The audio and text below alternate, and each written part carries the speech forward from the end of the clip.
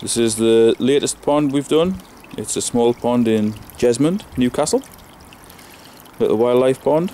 It's not planted up yet because we're in the middle of winter.